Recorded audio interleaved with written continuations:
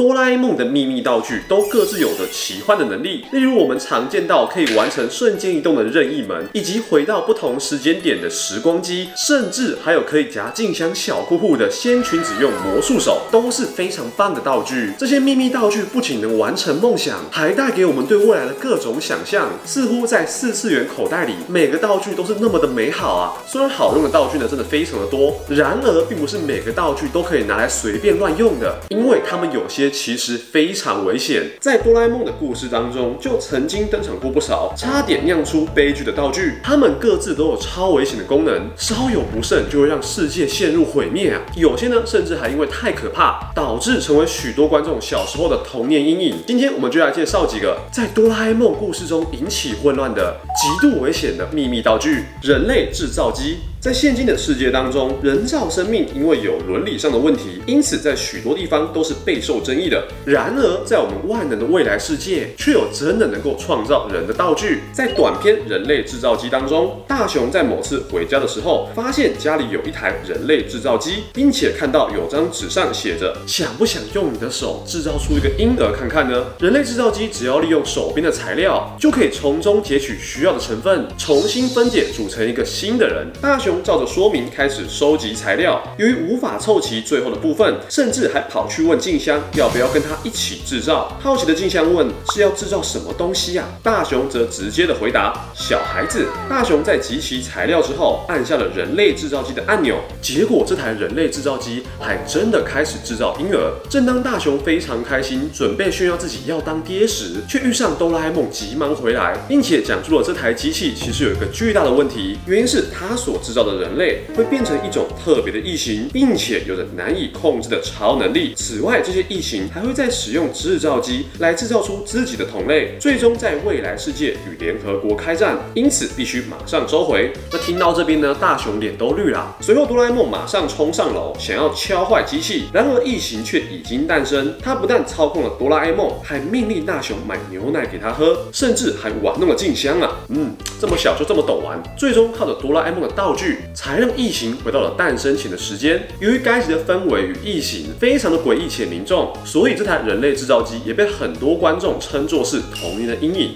恶魔护照，恶魔护照是一个非常犯规的小道具，在外形上是印着恶魔脸的红色小册子，并且印上了英文字 Passport of Satan。通常我们都会开玩笑，如果做出了什么事，只要露出你的证明，就可以大事化小，小事化无啊。那恶魔护照呢，同样就有这样的效果。不管做了什么事情，只要使用者亮出了护照，就会被对方无条件的容许，等于是发动了陷阱卡，可以色色啊。在水晶版的动画当中，大雄在墙上哆啦 A 梦拿到护照后，分别偷了妈妈的钱，拿走了小夫的零食，甚至还让静香主动掀裙子给自己看。这个恶魔护照真的是太。太可怕了！如果用在一些特别的事情上，那真的可以说是最强、最变态的道具啊！由于这个道具呢实在太迷幻了，因此在观众间也非常的有名，甚至还有登场过衍生的本本。如果大家今天拿到了恶魔护照，你又会去做什么事情呢？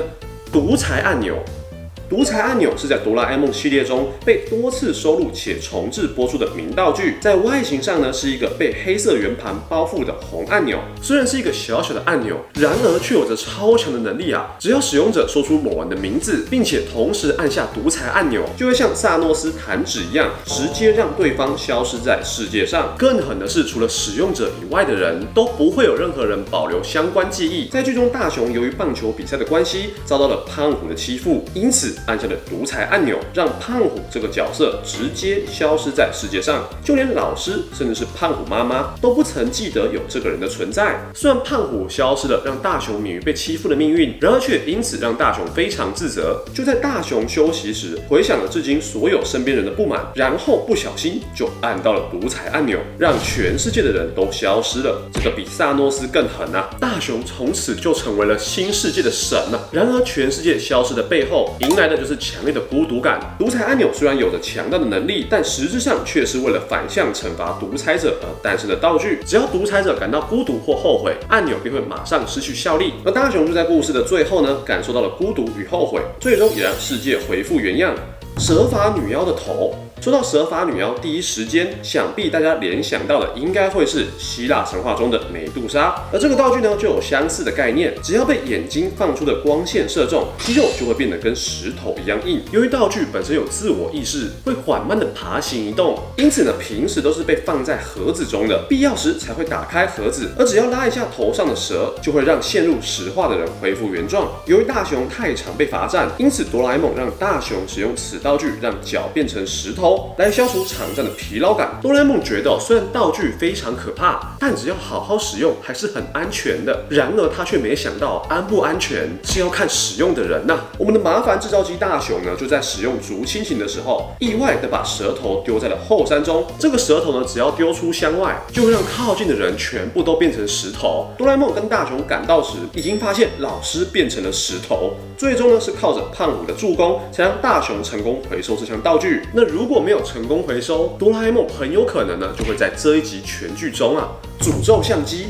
诅咒相机是一个在机身上方有着类似恶魔眼睛设计，且镜头颜色诡异的相机。虽然体积不大，然而却有着可怕且骇人的效果。连哆啦 A 梦拿出道具时，都因为道具太可怕而迟疑要不要真的使用它。只要借由诅咒相机来拍照，就会调出对方的人形娃娃。这个人形娃娃就像是巫毒娃娃一样，只要对娃娃做出任何事情，本人都会有同样的感受。不管是用针刺向娃娃，或者是火烧与水浇，都会受到。同样的痛苦，完完全全体现了什么叫做以他米我扛肌肉。那根据哆啦 A 梦的说法，如果娃娃被拆开了，那本人同样也会，嗯，光是听到就觉得太可怕了。只要用诅咒相机，就可以直接上演夺魂剧。I want to play again。地球破坏炸弹。最后，我们提到这个道具，可以说是在秘密道具当中破坏力数一数二强的。大家都知道，哆啦 A 梦虽然很万能，然而最怕的东西就是老鼠了。那为了要对抗老鼠，哆啦 A 梦到底可以变得多凶呢？答案是为了老鼠，它可以直接把地球炸掉。在老鼠和炸弹的短篇故事当中，哆啦 A 梦因为在家里发现老鼠而受到了巨大惊吓，二话不说直接掏出枪来，准备跟老鼠决一死战。随后，哆啦 A 梦还变身补给商人，发给大雄。霸王枪，连大雄妈妈都给了一把热线枪。然而就在一阵操作猛如虎，近看伤害零点五之后，哆啦 A 梦变得越来越疯狂，决定直接拿出最具毁灭性的道具——地球破坏炸弹。这个地球破坏炸弹呢，从外形上来看呢，就是一个炸弹。那如果说它的名字属实，那就真的是个能够毁灭地球的道具。由于如果真的砸下去，不要说是老鼠哦，应该是全世界都会毁灭。因此在故事的最后，哆啦 A 梦并没有使用这个道具，也是啊。毕竟用了就完结篇了，因为道具名实在是太过霸气，而且最终哆啦 A 梦并没有使用它，因此这个道具到底